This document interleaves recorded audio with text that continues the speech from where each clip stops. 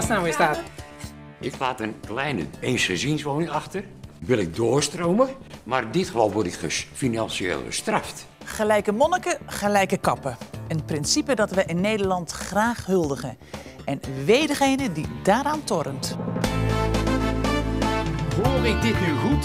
Worden, worden wij zo behandeld? Dat vond ik heel naar hoor. Ik wil gewoon een oplossing hebben nu. Het is dweilen met de kraan open. Dat vind ik onredelijk. Dat jij het wist, dame, dat wist jij. Ho, ho, ho, ho, ho.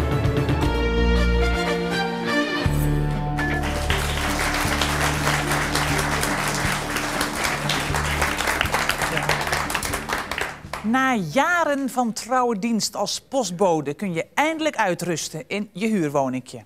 Je bent tevreden. Maar dan kom je erachter dat je buurvrouw heel wat minder betaalt voor precies hetzelfde huis.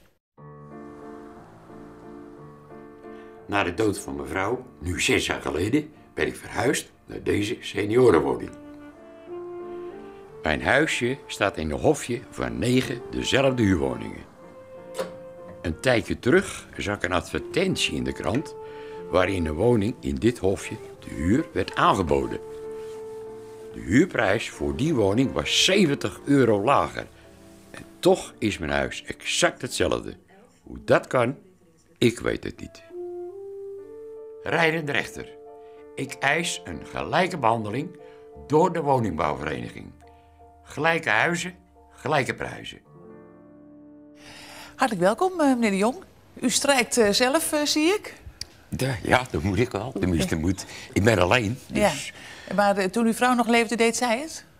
Nou, de, de laatste vijf jaar had mijn vrouw had Alzheimer. Dus moest ik eh, ja, alles veel zelf doen natuurlijk. Hè. Ja. Kokkerellen, wassen, strijken. Maar dat gaat u goed af. Ja, gelukkig wel. Ja. Bent u lang eh, getrouwd geweest, als ik vragen mag? Het was met april, was het 51 jaar geweest. Oh, oh, dat is heel erg lang. Ja. Vindt u het heel moeilijk om nu alleen eh, te wonen? Nou, ik kan me gelukkig goed redden. Ja. Gelukkig wel, maar ja, het is helemaal zo. Ja. En eh, u hebt eh, eh, kinderen, in ieder geval één, want u- Ja. uw dochter zit naast u. Hebt u nog meer kinderen? Ja, nog vier. U staat uw vader te- terzijde in deze kwestie? Allemaal doen we dat in Allemaal? principe, jawel. Omdat ik de indruk heb dat u zich uitstekend zelf kan, eh, kan redden. Jawel, dat wel. Maar ja, af en toe moet je hem toch een beetje ruggensteun Ja, geven. een beetje steunen. Ja. Ja, Woont u ja. ook in de buurt? Ik woon zelfs in dezelfde straat. Oh, maar Ja. niet op dat hofje? Nee, niet Nee, dat, nee, nee, zo ver ben ik nog niet. Nee. Dat is misschien de volgende stap. Maar Want daar wonen alleen maar bejaarden. op dat hofje wel, ja. Ja, maar in ja. de straat zelf eh, Ja. wonen allemaal eh, ja, eengezinswoningen zijn Ja. er allemaal. En hoe, u bent een aantal jaren geleden dus kleiner gaan wonen, begrijp ik. Inderdaad, door de doorstromen. Dat, eh, ja, dat Rijk wilde ook graag dat mensen ouder werden doorstromen. Dus naar een bejaardenwoning. Ja. En ook op advies van mijn kinderen. Ja. Wordt ouder, Ja. lekker klein wonen. Want eh, eh, eh, hebt u het probleem zelf ontdekt of, of hebt u dat ontdekt, mevrouw? Nee, eh, mijn vader is in 98 komen wonen in het Ja. bejaardenhuisje dan. Ja. En eh, nou, die heeft het huis eh, gewoon conform de regels daar gehuurd. Mhm. En in het jaar 2002 eh, kwam er een, stond er een advertentie in eh, zo'n Ja. dag of zo'n algemeen blaadje. Zo'n huis- en huisblad, Een huis- en huisblad. Mijn vader woont op het ene hoekje. En dat andere hoekje dat, eh, was vrijgekomen. En tot mijn verbazing was daar de huur eh, lager. En dat scheelde 70 euro Ja. per maand. Ja. Dus dat is een aanzienlijk bedrag. Bent u de enige die meer huur betaalt? Of zijn er meer mensen die net zoveel betalen als u? Nou, volgens mij ben ik een van de die het, het meeste betaalt. Ja, Ja, er, zijn, eh, er zit niet één huurprijs is daarin bij die negen huizen hetzelfde. Ja. Nee, het is van- allemaal verschillend. Ja. Ja, daar gaat het ook om. Hè? Kunt u het eigenlijk eh, go- goed betalen van uw pensioen of is het eh, erg duur? Nou ja, eh, ik vind de onredelijke eh, die vier jaar naar mij kwamen wonen. Ja, Ik ken niks aan die mensen, dat weten ze. Maar hoe kan dat? ja. U, bent toen natuurlijk naar die woningcorporatie gegaan. We hebben ze dan eh, geschreven, dat heeft mijn broer gedaan. Ja. En eh, ik kreeg een heel bot briefje terug van... uw vader heeft ervoor gekozen, dus... Nou, net of je over een huurprijs kunt onderhandelen, dat is natuurlijk helemaal niet aan de orde. Dat eh, is een heel... Nou ja, en doordat zij zo gelijk zo reageerde van... eh, hij heeft ervoor gekozen, klaar... Ja, dan ga je het natuurlijk... Dat is Ja. natuurlijk geen verklaring, dus dan ga je het wat verder opzoeken. Goed, we gaan eens eh, naar de andere partij. Woningcorporatie SCW verhuurt de woning aan meneer De Jong... en vindt dat hij geen cent te veel betaalt. Meneer de Jong wist precies hoe hoog de huur zou zijn toen hij voor de woning aan de Ludeweg koos. Bovendien heeft hij uit vrije wil getekend. De maandelijkse huurprijs die we de heer de Jong vragen is zeer redelijk en is geheel in overeenstemming met zijn inkomen. Volgens het officiële puntensysteem van de huurcommissie mogen we de heer de Jong zelfs meer huur vragen, maar dat willen we niet. Rijdende rechter. Wij doen alles zoveel mogelijk volgens het boekje. Trouwens, de heer de Jong is zelf akkoord gegaan met de huurprijs. We houden hem zoals hij is. Ja. Is dat... eh, wat betekent het SCW? Stichting Centrale Woningzorg. Stichting Centrale Woningzorg. Eh, ja, eh, u hoorde net al, eh, de dochter van meneer de Jong... die vond dat u een hele botte brief had gestuurd. Ja, ik denk dat u de boodschap bot vond. Nou, wat, dat is natuurlijk geen verklaring. Hij heeft ervoor getekend, klaar. Ja, maar- geen discussie Dat, mogelijk. dat was het enige wat erin stond. Ja. Ja? Dat kan ik op zich met u eens zijn, dat er misschien wat meer woorden aangewijd hadden kunnen worden. Dus bot. Het begrip. Maar ja, daarmee verandert de boodschap niet. Nee. Nee. ja. Maar ja, c'est le ton qui fait la musique. Eh, hebt u daar wel eens over gehoord? Eh, hoe wordt uw huurprijs eigenlijk bepaald? Eigenlijk op grotendeels op basis van historische gegevens vanuit het verleden. En inmiddels is het zo dat we eh, sinds een aantal jaren eh, als huurbeleid hebben dat de nieuwe huurprijs, als een woning vrijkomt, 70% is, 72% van wat het maximaal redelijk mag zijn. Ja. In dit geval is het bijzonder. En Ja. dat heeft te maken met de ontstaansgeschiedenis, of eigenlijk de manier waarop we aan die woningen in Blaricum Ja. zijn gekomen. Het was een gemeentelijk woningbedrijf. Dat hebben we van de gemeente Blaricum gekocht. En daar zaten voorwaarden bij. En een van de voorwaarden was, we hebben een dusdanige prijs moeten betalen... dat we zeiden dat kan, maar dan moeten we de woningen die vrijkomen... tegen een behoorlijk hogere prijs gaan verhuren dan wij gewend zijn. Dat was het Nou, startbeleid. Dat was de fase waarin uw vader Ja? ook de woning is gaan huren. Daarna kwam de gemeente Blaricum opnieuw naar ons toe. Die zei, wacht eens even, we zien dat er in het oude dorp... eigenlijk onvoldoende goedkope woningen overblijven. Ja. SCW, kun je ons eh, daarbij helpen? Toen zeiden wij, ja, dat willen wij wel. Maar dan moet er toch iets gebeuren. We hebben een hoeveelheid geld betaald... wat we vervolgens natuurlijk in de huren weer terug zouden moeten verdienen. En daarom, daarna zijn we dus overgegaan naar ze- 70% verhuren... en de conditie dat we een aantal woningen die vrij zouden komen mochten verkopen. Om Ja. daar wat extra inkomsten van te krijgen. Ja, wat vindt u van die beleidsverandering, meneer, eh, meneer de Jong? Ik vind, eh, ik vind het krom. Krom. Ja. Nou, in principe is het gewoon een stukje wanbeleid van Ja. de gemeente Blaartje met de SCW natuurlijk. Hè. Nou, in Dat zoverre... is, eh, er wordt een Ook beetje dat. handjeklappolitiek eh, bedreven over de ruggen van de, van Ja. de mensen. Die, Nee, dat eh, ben ik niet met u eens. ja. Uw vader heeft destijds gewoon zelf gereageerd op de woning... en wilde dat hem gaan, wilde hem gaan huren. was toch geen onderhandeling? Nee, maar je kon toch niet zeggen, di- dit is de vraagprijs. Nou, wij willen wel huren, maar wij gaan er 70 euro onder zitten. Wat Nee, hadden jullie dan gezegd? Dan hadden wij gezegd, dan nemen we de volgende die wil. Ja, nou kijk, Klopt. dus er is toch geen, Nee. geen onderhandeling Eens. Er is een dat vooruit- aanbod en daar zeg je ja of nee tegen. Zo gaat het in de winkel ook. Nou. Als ik dat vooruit geweten had, dat deze woning op, op nummer 20 zou, zou eh, komen, had ik een paar jaar gewacht. En ik hoefde het huis niet uit. Nee. En dan wordt da- daardoor financieel voor gestraft. En dat vind ik onbegrijpelijk. Financieel gestraft kan ik niet Ja. helemaal met u eens zijn. Ik vind wel. Nou, ik weet niet hoe u 70 euro in de maand ervaart. Maar... Nee, ik, Ik vind het ik- bespottelijk. Maar goed, u, u, zegt, u, u, zegt, u vergelijkt het met een winkel, hè? Dat je Ja. op een gegeven moment dat, dat iets de ene dag eh, goedkoop is dan de andere. Maar een, eh, zo'n woningbouwvereniging is toch geen winkel? Nou, in zijn essentie moeten wij natuurlijk ook Ja? gewoon producten eh, aan de man brengen of aan de vrouw. Maar, Maar het is toch geen commerciële onderneming? Nee, dat ben ik helemaal moet eens. maken en een winkel wel. Als je, als je het zo beschouwt, dan kun je zelfs zeggen dat wij op iedere woning die we verhuren geld toe moeten leggen. Stel, stel eh, zou u het uw eigen vader eh, uit kunnen leggen? Stel Ja, dat u kan het dat uitleggen. uw vader was. Ja, hij heet zelfs hetzelfde als ik. Ja, is dat ik. Ik zou het kunnen uitleggen, maar ik begrijp heel goed Ja. ja, dat iemand het liever anders heeft. Goed, we gaan er eens naartoe. Tenminste, eh meester Visser die is er naartoe gegaan. Meester Visser ging naar Blaricum en deed daar een vergelijkend warenonderzoek. En hij bekeek niet alleen het huis van meneer de Jong, maar ook dat van de buurvrouw.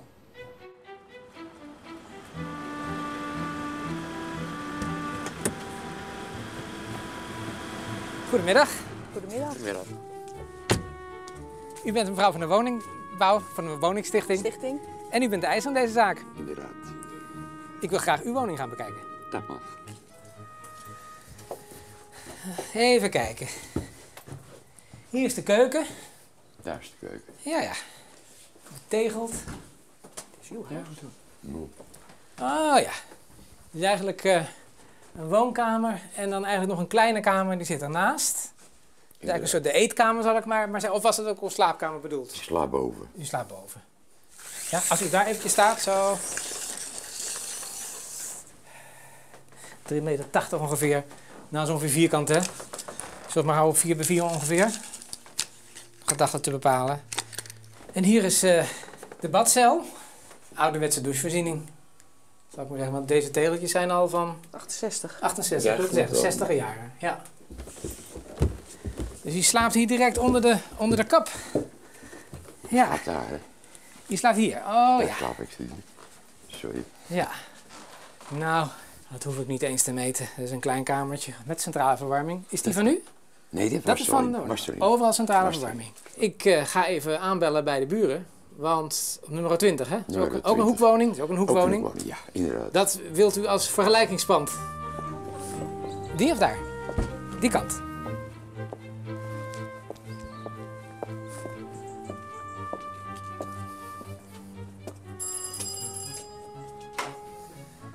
Dag mevrouw, ik ben de, de rijdende rechter. Ja, dat zie ik. Ik, zou graag u in de woning, maar heel brutaal, maar Nee, Binnenkijken. ik kom nu binnen.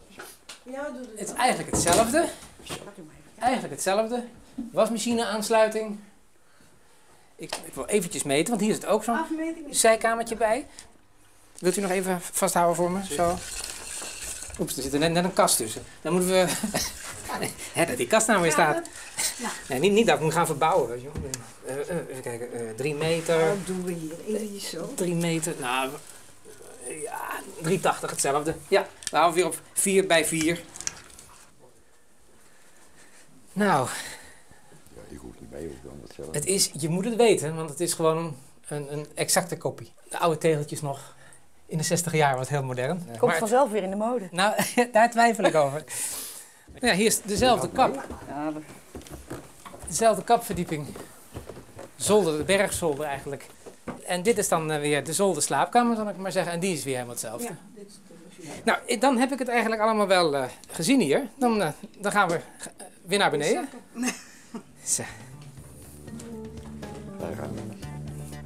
Ik zie u allemaal terug eh, vanmiddag op de hoorzitting. U bent ook welkom. Dank u. En bedankt voor de gastvrijheid. Tot straks. Dag. Tot ziens. Dag. Niet alleen het hele hofje liep uit, ook de ex-wethouder was van de partij... om in het nabijgelegen parochiehuis Sint-Vitus de hoorzitting te volgen. Welkom, we zijn hier in het lommerrijke Gooi in Blarikum. Aan de orde is de zaak van meneer De Jong tegen SCW, voluit Stichting Centrale Woonzorg. Vandaag vertegenwoordigd door mevrouw De Jong. Geen familie. U bent wel tevreden met uw woning. Inderdaad. En u verwoont op het ogenblik 419,78 euro. U heeft ook een referentiewoning aangewezen om te vergelijken. Bij mevrouw Wiegers zijn we ook nog te gast geweest vandaag. Die betaalt op het ogenblik 361,27 euro.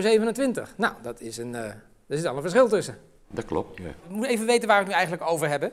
Daarom eh, heb ik eh, eh, een deskundige vandaag uitgenodigd, meneer Herman van der Belt van Vrom. En u heeft voor mij berekend het aantal punten. Hè? Want voor de huurprijzen in Nederland, voor de sociale huursector, gelden punten. Wat is nou de puntentelling op het ogenblik van het huis van eh, meneer De Jong?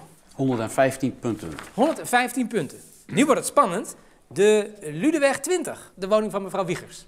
Die schoort iets meer. Die schoort 119 punten. Er Doe maar. zit dubbel glas in. Ah ja, dubbel glas, daar moet je extra voor betalen. Meneer betaalt dus eh 15% meer voor dezelfde woning. Heb ik een vraag aan u. Als u nou bij Albert Heijn staat en u heeft net een pak koffie afgerekend en u hoort dat iemand achter u het voor de helft krijgt. Nou, een euro goedkoper. Volgens mij gaat u klagen of laat u het zitten. Als het eh, gelijktijdig zou zijn, denk ik wel dat ik er wat van zou zeggen. Ja, Als er een po- poosje tussen zit, niet. Want het ko- overkomt mij ook dat ik een broek koop. En even later, eh, een, week later of zo, dat die in de uitverkoop de helft kost. u bent gewoon te snel geweest met huren. Want de woningen zijn later goedkoper geworden. D- Dat is het eigenlijk. Ja, maar dat vind ik niet eerlijk. Ik laat een, een, een kleine uh, eensgezinswoning achter. Ja, Die wil ik doorstromen, ja, om Ja. anderen gelegenheid te geven, vooral jonge gezinnen, om Hè? Te helpen met dit. Maar in dit geval word ik ges- financieel gestraft. En dat vind ik onredelijk. Nou, zij zeggen, hij wordt- u wordt niet gestraft, maar u heeft gekregen waarvoor u kwam. Financieel. U heeft zich gemeld voor deze woning en u wist wat was de geen prijs alternatief, was. was niet anders. Hij, hij kon niet onderhandelen over de prijs. Nee, klopt. Het was niet zo dat hij bij u binnen kon komen, kan het voor een tientje minder. Dat was de prijs. Hij woont daar. En een aantal jaren later wordt het beleid gewijzigd. Ja. Juist. En dan zegt u, alle nieuwe huurders gaan nog 70% van de maximaal toegelaten huurprijs betalen. Dat vinden we fijn voor de mensen. Nou, niet alleen. Dat was een, uitdrukkelijk ook het gevolg van overleg met de gemeente Blarikum. Nou heeft mij iemand mij ingefluisterd dat de de wethouder hier is. Eh, is dat zo? Ach, u bent de wethouder. De ex-wethouder. Wij waren van mening, en dat was toen het beleid, eh, dat eh, ook in Blaricum de gewone man moet kunnen blij- blijven wonen. Toen is er overeengekomen, zoals mevrouw heeft gezegd, dat eh, de huren wat lager eh, zouden worden vastgesteld vanaf dat moment. Maar is toen nooit nage- nagedacht over de zittende huurders? Ik moet u eerlijk zeggen, ik denk dat de gemeente Blaricum een beetje eh, schuld tussen aanhalingstekens is van dit conflict. Wij hebben nooit aan mensen gedacht die al op dat moment huurden. Heb ik een voorstel. U zegt de huur op en meldt u gelijk weer aan als nieuwe huurder. Voor u ook makkelijk, hoeft u geen mutatie te doen. Kan. Er is, één- er is één risico aan, hè? Ja. Ten eerste mag meneer de Jong dan nog maar zich afvragen of hij als eerste eindigt, zeg maar weer, opnieuw voor zijn woning. Want het kan zijn dat inmiddels een andere woningzoekende daar meer recht op heeft. Dus dat gaat niet op, de huur opzeggen en dan opnieuw huren. Nee. Ik weet dat het vaker voorkomt. Dat de woningbouw, zo noem ik u altijd maar even eventjes kort, dat er voor dezelfde type huizen verschillende huren worden gevraagd. Maar dat heeft altijd hiermee te maken dat de woningbouw, die zou graag de lagere huur naar de hoogste huur brengen. Maar die kan niet, omdat vanwege wettelijke regels zit iemand die profiteert van een lage huur. Daar kan je niet aankomen. Klopt. Maar u doet net het tegenovergestelde. U gaat, een nieuwe huurder, die gaat u veel minder berekenen dan u zou kunnen. Ja. U, u, u wilt helemaal Ik die kan u huren niet... uitleggen hoor. Wat het Maar u wilt die huren dus helemaal niet gelijk trekken. Nee. Dat wilt u helemaal niet. Nee. Maar het zal, willen- dus in lengte alle- van dagen blijft die woning van, van meneer, dus over 20 jaar als hij nog staat, de, en er zit iemand anders in, betaalt hij nog altijd meer dan nummer 24. En er stijgt steeds meer. Het eindresultaat blijf ik een beetje merk- merkwaardig vinden. Maar ik vind eigenlijk de hele discussie een beetje mal dat we het over dat beleid hebben. Want waar het, Daar komt het wel uit voort. nee, waar het is voort. in essentie natuurlijk op neerkomt, het is dat er gedaan wordt alsof een huurder niet zou weten wat hij ondertekent. Hij bepaalt op dat moment, dit is een prijs die me gevraagd wordt, ik vind het dat wel of niet waard, want anders zet je je handtekening niet. Die meneer De Jong die heeft ge- gesolliciteerd zeg maar, op een woning met een hogere huur... die passend was bij zijn inkomen. En op Hij dat heeft ogenblik was een goede deal. Op dat ogenblik was een goede deal. Dat wisten wij niet, dat huurverschil. Dat wisten wij Het niet. ging helemaal niet om het huurverschil. het Je kijkt niet naar het huurverschil, je kijkt naar hoe is de situatie, de huidige situatie. Ik zoek Ja. een woning, ik verdien eh, een bepaald bedrag en daar past, daar kan ik die huurwoning mee betalen. Over hoeveel woningen hebben we het eigenlijk? Ik denk een, een stuk of eh, tien misschien in, in het oude regime. We hebben het over 10 woningen. Ja. Dus als u die 10 gelijk trekt, is heel belangrijk om gelukkig. Althans, eh, Nee, maar daarna komen de volgende. Hè. Dat zijn de mensen die een nieuw huis zijn gaan huren en zeggen... en ik vind het ook niet eerlijk, want ik betaal ook meer dan de buren. Dat is toch appel en peren vergelijken? Of Nee, dat is precies dezelfde situatie. Ik denk dat het eh, probleem eh, mij wel duidelijk is. Zeker niet makkelijk, moet ik u zeggen, maar ik ga erover nadenken. Binnen niet al te lange tijd eh, zie ik u terug in de studio in Hilversum. Nou, dat kunt u op de fiets doen, vlakbij, eh, voor het vernemen van de uitspraak. Ik, ik begrijp dat u een ondankbare taak heeft, dat snap ik. Maar goed, het, het beleid wordt toch verdedigd. Eh, De, de rechter suggereerde van, hè, meneer kan zijn woning opzeggen en weer een, een nieuwe. Toen zei u, nou, dat hangt er nog maar vanaf. Betekent dat dat er een lange wachtlijst is voor die huisjes? Ja. Ja? Sowieso in heel Nederland natuurlijk, hè, voor sociale huurwoningen. Nou ja, maar goed, sociale huurwoningen, het, zo heel goedkoop is het toch ook niet? Nee, maar het is nog steeds beneden de huursubsidiegrens. Ja? En dus dan heet het een sociale huurwoning. Want ik moet u eerlijk zeggen, eh, toen ik eh, dat zag eh, op de film... toen dacht ik, nou, het ziet er wel een beetje armoeig uit, dat douchen en zo. Meneer, wat vindt u? Ja, het is helemaal niet gemoderniseerd. Nee. Verder. Ook in de keuken niet. Eh, nee, het is gewoon... Toen ik erin kwam, zo was het. Ja. Wat vond u niet een- die douche een beetje? Ik dacht, nou, Ja, het ziet er een beetje armoeig uit. Eh, Wat ik net al vertelde, als corporatie Ja? moeten we feitelijk woningen exploiteren tegen een prijs die lager ligt dan wat je eigenlijk nodig hebt. Dat betekent dat je, dat je zuinig moet doen met je centen. Ja. En dat betekent dat wij pas iets vervangen eh, door iets nieuws wanneer het niet meer gerepareerd kan worden. Nee, want het is toch niet echt meer van deze tijd, zoals het in douche eruit ziet. Dan bent u dat niet met mij eens? Natuurlijk, in deze tijd zie je andere, een andere uitstraling. Helemaal eens. Maar ja, een nieuwbouwwoning op, in deze tijd heeft toch nog een andere prijs. Goed, we gaan, eens, eh, we gaan eens even naar de uitspraak. Kan meneer de Jong de bloemetjes buiten zetten met het geld dat hij in de toekomst overhoudt? Of blijft hij op een houtje bijten? Hier is meester Frank Visser met de uitspraak.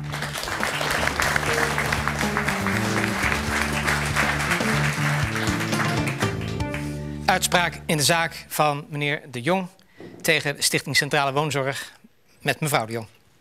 Ja, verschillende huurprijzen voor hetzelfde type woning. Mag dat?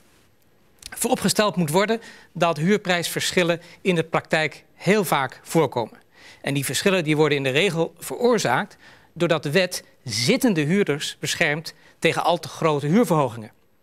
En de verhuurder, en dat kan niemand ze kwalijk nemen, probeert dan de schade in te halen als een woning vrijkomt. Alle wegen wordt erkend, ook in de juridische wereld, dat dat is toegestaan.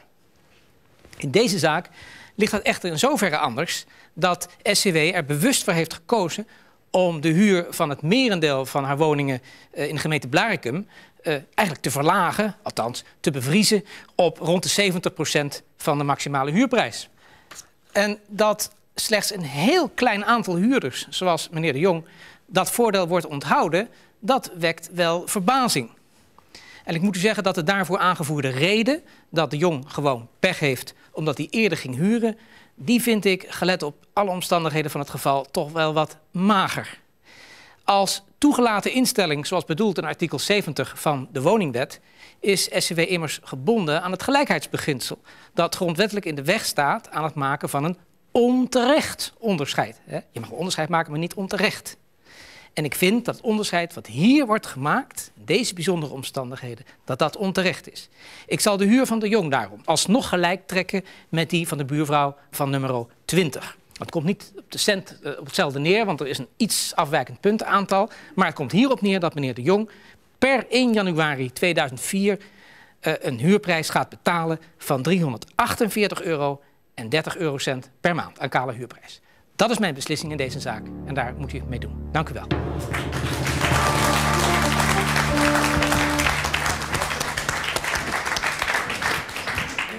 Dik tevreden? Nou, gefeliciteerd met. Had u het verwacht? Ik, nee, ik had eerlijk, eerlijk gezegd, mag gerust ja? een bevriezing voor een paar jaar. Dus we zouden dus even niet, met een verhoging met jullie. Dus een paar jaar zou bevriezen. Maar dit vind ik fantastisch. Ja. Nou goed, gefeliciteerd. Ja, voor u is het natuurlijk uh, zuur. Wat gaat u doen? Gaat u nu die andere uh, huren ook aanpassen naar deze uitspraak? Ik ga in ieder geval meneer de Jong feliciteren. Ja. Hij heeft zijn best gedaan en heeft gewonnen. Ja. Uh, ik kan daar geen uitspraak over doen. Maar ik denk het eerlijk gezegd niet. Want ik blijf van mening, nog steeds, dat het... Ja. Maar ja, eigenlijk vreemd is, want dan zou het eigenlijk betekent het feit dat we een huurovereenkomst, getekende huurovereenkomst, de volgende dag niks meer waard is. En dat is een beetje vreemd. Ja, want u begrijpt natuurlijk wel wat er, wat er, wat er morgen bij u op de stoep staat, hè? wie, wie er bij u op de stoep staat, moet ik zeggen. In ieder geval allemaal hartelijk dank. Tot volgende week bij de Rijdende Rechter. Wilt u ook een conflict aanmelden? Dan kunt u nu bellen naar 0900 1301. Of schrijf naar de redactie. Rijdende Rechter, postbus 12010 1100 AA in Amsterdam.